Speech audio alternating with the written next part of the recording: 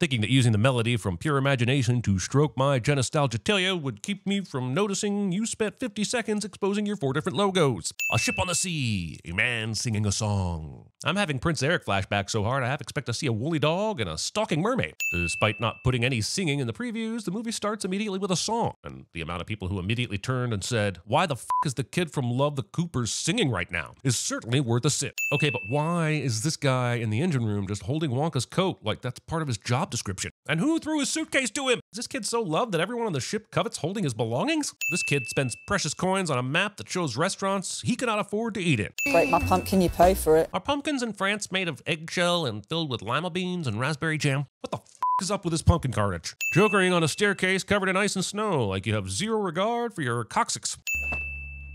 Okay, but on the positive side, that gutter water somehow appears to be clean enough to drink out of. Not promoting that your movie stars a fing shape-shifting dragon. This movie hid all its best features. By this time tomorrow, you'll be frozen solid. The dude just pulled a boiling pot of hot chocolate out of his hat of holding, sir. I think he will be just fine. Welcome to Scrubbit and Bleachers, Guest House and Laundry. So if your names are Scrubbit and Bleacher, does that just doom you to a life of running a laundromat? Or do movies just think they can name characters whatever they want? I mean, I had a dentist named Dr. Fear, but he didn't have a partner named Dr. Drill It, so I think my point still stands. That's for my stew. In here somewhere. Storing your dirty handkerchief chain in the same hat as your stew carrots. I understand the movie wants me to know without a doubt that Scrubbit and Bleacher are villains, but murderous villains? What could they gain from killing a kid off the street? Even if Wonka read the contract, that wouldn't immediately mean their operations were ending. Noodle! Oh, noodle! Me trying to find the actual chow mein amongst the ludicrous amounts of cabbage that Panda Express adds somehow makes it into the script. Here we go, Mama. That is a chocolate bar, William. My name is Willy Wonka, and I have come to show you a marvelous morsel. An incredible edible. An unbeatable eatable. Reminding me that I should have probably had my own incredible edible to actually enjoy this insanity. Each of the three chocolate villains somehow both hear what's going on in the street and just happen to be in their office so they can all simultaneously come to the window for their big introductions. In this song, Wonka rhymes chocolate with socklets and pocklets, and I just like to say I find that to be a crocklet, and this whole song can eat a bag of chocolates. Everyone is really impressed with this chocolate floating magical stuff. Is magic normal in this world? Why is no one screaming about this being an act of the devil? Well, who wants to try one? The song this total stranger sang described a bug that laid an egg inside chocolate, and no one seemed to remember that. They are all far too happy to eat this thing. It's not just chocolate? There's marshmallow. Okay, but when will someone describe the taste of the small bug's egg bursting squish testines into the mouth like a burst egg yolk with tiny half formed spike legs? And caramel. But, but it's salted. You salt with sweet freaks have been poisoning food since my buddy Tommy Tethers dipped a french fry in his Wendy's Frosty after a Little League game in 1987. And now I can't bite into a piece of chocolate without making sure it hasn't been dipped in ocean water first, you monsters. Hook 'em, boys. Equipping your police force with floating people hooks as if that's something you regularly have to deal with. Also, none of these officers were carrying these sticks walking in, but as soon as they cut to the rear shot, they all have one. I've looked over this bill, and it's this laundry section that confuses me most. It appears as if you are charging for each item, but you list five items of clothing and only have four itemized lines. And I refuse to believe that these money grubbers wouldn't have added a cost for each item, considering they are literally charging per sock. Also, I find it hard to believe they actually had any time to do any laundry in the first place, or would even want to when they can just charge whatever the hell they want for various sundries anyway. Not only that, but underwear? Underwear? Whose English accents would be saying pants and you know it. And speaking of pants, why didn't you list his trousers anywhere? Charged for the vest and jacket, but didn't take the time to throw on some extra cost for his leg bags? And finally, and most importantly, no one should have handwriting this perfect. No one. And I'm Larry Chucklesworth. And I'm done with this movie. One moment of stupidity followed by endless regret. Hey, that's how my YouTube channel started. Movie never explains why this laundromat has this much business and is completely run on slave labor, but its owners still appear to be living in squalor. When this movie is a classic 30 years from now, I'm guessing it's the laundry montage song that people will remember most. Told you to read the small print. Urchins with a bad case of the told you so's. I focus my studies almost exclusively on chocolate. And sail. Don't forget about all that time surviving on the ocean. Or did chocolate magically get you through the seven years on the seven seas? Everything else, I've relied on the kindness of strangers. Moochers. The greedy beat the needy every time, Mr. Wonka. The movie will eventually pretend that this isn't true. I have a selection of the world's finest ingredients right here in my travel factory. That is apparently somehow battery powered. And yes, I know it does all sorts of magical things, but my phone in 2024 won't last more than six hours. So I'm a bit distracted by the magical chocolate factory in a box that has built in mood lighting like it was designed by a Twitch streamer with too much time on their hands. Helps you see that faint ray of hope beyond the shadow of despair. That sounds disgusting. We lived on the river, just the two of us. If the movie is about to give us a backstory to the nightmare inducing boat ride from Willy Wonka and the Chocolate Factory, they can go right on and f off down Veruca's garbage chute. Nothing will make that okay ever. Fucking worms on a goddamn carcass. And that poor decapitated chicken, Jesus. Gotta call my counselor now for fuck's sake. Having a built-in flashback exposition device in your magic-powered chocolate suitcase. Also, who even took these pictures? And did they know they were creating a flipbook? It's like this movie doesn't even care about existing in the real world. Is that all it is? Just a dream? Oh, oh, I see what's happening here. We are either already inside of Wonka's daydreaming, or he and his mother got sick and died, and this movie is his brain's final tailspin fantasy before death. Now the magic makes sense. Every good thing in this world started with a dream. Skip. I'll be right there beside you. I think you promise. Parent promises to be alive and positively influence the child's life, only to die before that becomes possible, thereby creating a perpetual cycle of trauma cliche.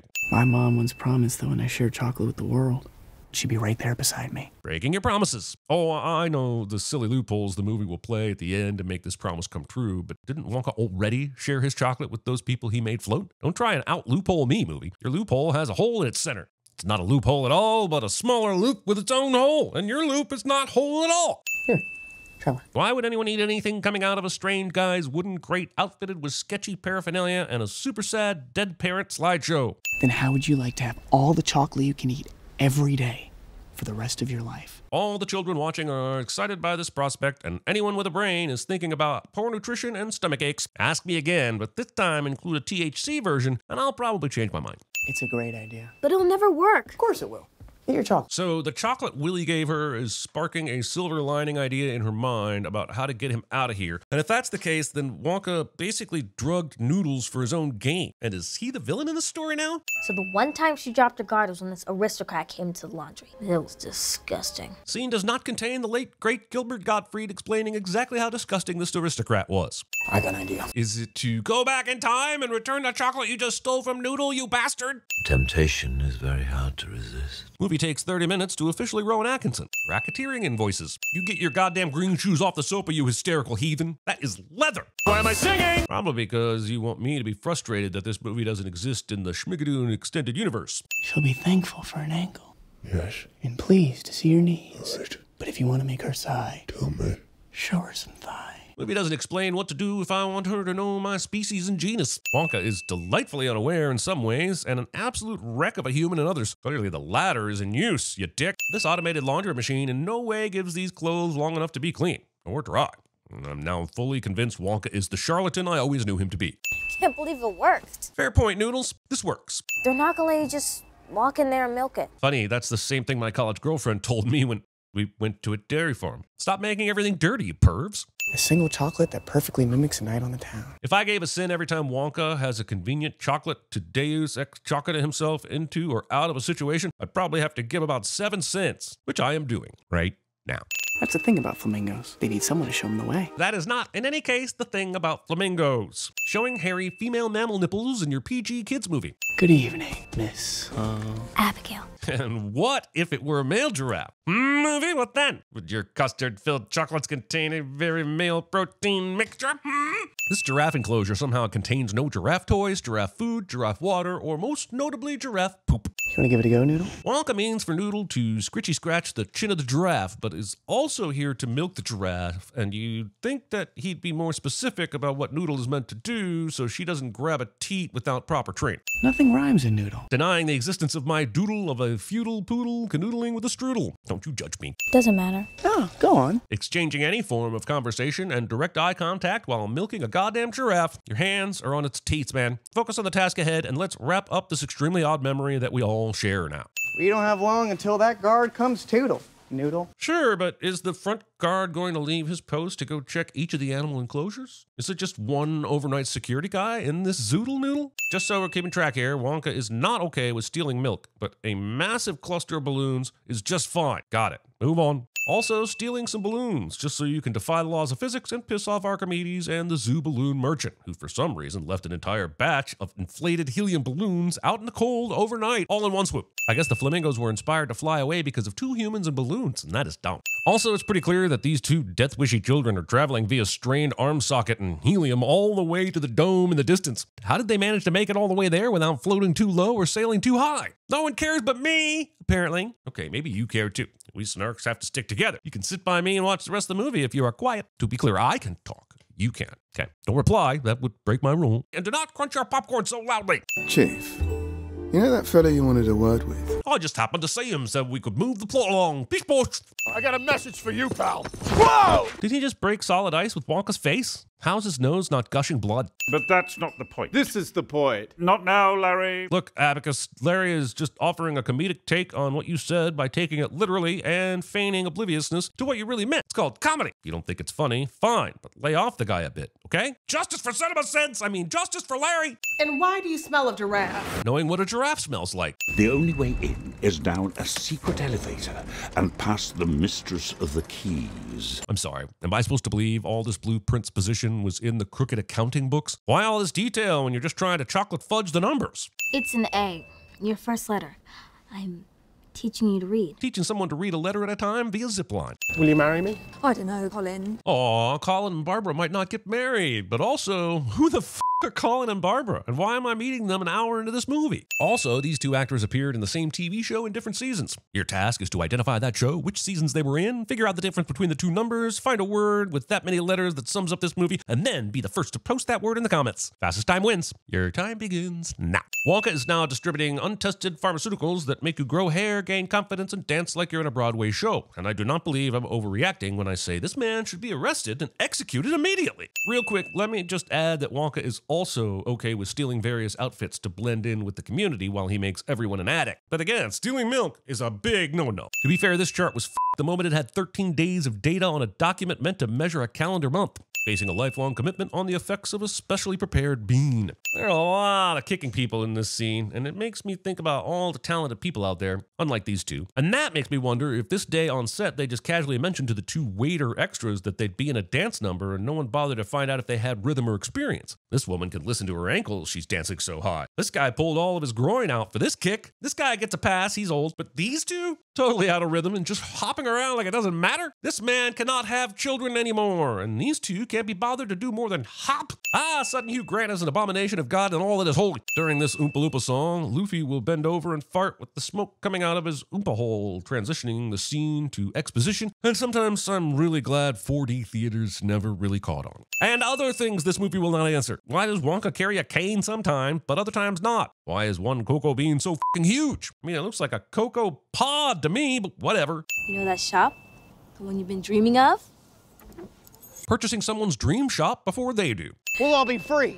As free as flamingos! I swear to fucking God, if I see this as some sort of bumper sticker designed to inspire people to fearlessly fly out of their situation after seeing a human lift off with balloons, I will, I'll, I'll release my own bumper sticker that will say, I send flamingos. Fucking flamingos. But it's gonna cost you a lot more chocolate. This whole police chief eats a bunch of chocolate and gets very fat, and oh, isn't it funny when fat people fall down and can't fit through doors and shit storyline is very, very bad. Here we go, Mama. Baz Luhrmann's Wonka Elvis. Choosing Mr. Carson on a bicycle is the preferred energy source for your fancy candy shop. Clouds are made of cotton candy and not chocolate? What is this shit? Eating the store components and drinking milk from the giant chocolate cow sounds like fun on day one at Wonka's. But by day 37, I'm highly doubting there are enough guidelines in existence that would keep this entire place from being one big bowl of chocolate listeria. And uh, don't forget to eat your basket. Are you also giving instructions on how to wash the melting chocolate out of his wool coat? Because it seems like everyone in the store will need some tips and tricks for laundering.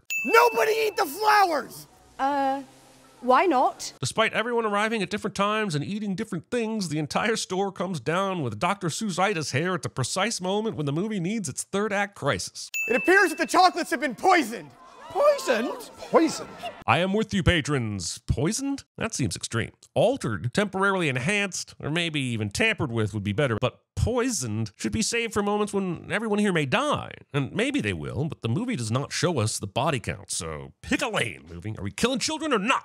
This is what you get for mustaching my daughter. Yep, because murder in a store full of strangers after they cause you to grow facial hair is a normal reaction. Every good thing in this world started with a dream. And most of the bad things, too. I'm just saying social media was someone's dream, and Agent Orange, and the Nintendo Virtual Boy. Checking out, are we? Yeah, was it the forlorn apologetic singing I was doing while wandering the frozen bridges of France that gave it away? Kill it! Kill it with fire! Look, where Slugworth shook my hand. His ring left a mark. On your fucking palm? How do you leave a ring impression on someone's palm while shaking hands? Was Slugworth wearing the ring on his palm? Run that back. Okay, he conspicuously takes his glove off, has his ring toward the middle of his pinky, and turned inward, all in an attempt to try and sell this bullshit plot clue. And it still barely looks like it's even pressing against the side of Wonka's right hand. The side is not the palm, even with all the work you did to try and get this convenient reveal, you charlatans. This is to keep you here. My friend, Mr. Slugworth, doesn't think nasty little urchins like you should be out on the streets lowering the tone. Olivia Colman could do fing anything. What a beast. They keep that ledger in a vault. Guarded by a corrupt cleric. And 500 chocoholic monks. All of these idiots are precariously perched on the piss poor pine of the pigeon poopy pen to pander over plans to prevail against the persistent perpetrators. Get down from there and talk in the streets like civilized people. Mr. Cocoa Bean. Also, movie takes another hour to Rowan Atkinson after waiting 30 minutes to officially Rowan Atkinson in the first place. Movie doesn't know how to Rowan Atkinson correctly. I need the zoo. It's an emergency. Putting through to the escaped animal department now. But he never said it was an escaped animal, Lottie. Are you trying to ruin everything? Movie cuts away before I get to see how they navigate these stairs with their giant giraffe box. Nothing about this flamingo fiasco seems to be on purpose. So the movie is telling me that the flamingos aided in saving the day all on their own? I send flamingos! Because all that's down here is just a bunch of stupid old chocolate. Plot convenient temper tantrums that went to the oh for f***'s sake school of aiming at things. Sole heir to the family fortune, or so I thought. But nine months later, Expositing your villainous backstory for no reason whatsoever, even though you aren't in a Bond movie. What are we gonna do, Willy? If Noodle and Wonka strange brew themselves out of the situation by eating all the chocolate, I'm giving back all the sins. Putting a glass skylight in your hidden chocolate murder chamber. Deep breath now. Forcing me to spend the next scenes holding my breath because I want to see if I could survive this particular scenario. Honestly, this one isn't too bad, but holding your breath in the abyss when they swim to the next hatch, that sucked. So here's another sin for reminding me about my limited lung capacity. Car shrunk. hey, Noodle! When in the time between escaping certain death and turning in the three chocolatiers did they have time to work out the plan and signal for this coup de grace? How did they even know all the chocolate would be pumped down there? Or that it's connected to this fountain? Why the hell are the secret chocolate pipes connected to the water fountain? This asshole who just casually erases Wonka's ghost mom. Aw, Willie is sharing old chocolate from his pocket. That is so sweet. Who cares it was recently soaked by water and chocolate and probably so, so, so much sweat? This is the chocolate made by a dead mother's hands for her sad orphan child with magical candy powers. Eat up while you sob, you bastards. You found my mom? Yep, and they waited until after the part where you could have died to tell you about it because friendship. If I'm gonna share my chocolate with the world, I'm gonna need more than a shop. I'm also going to need some slave labor. You in? Thinking you hadn't humiliated him enough during the movie, so you gave him the job of introducing your end credit character epilogues that you should have just put in the damn movie.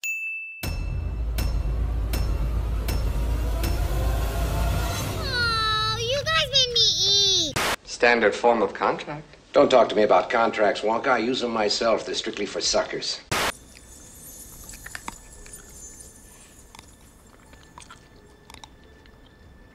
Tastes like like strawberries.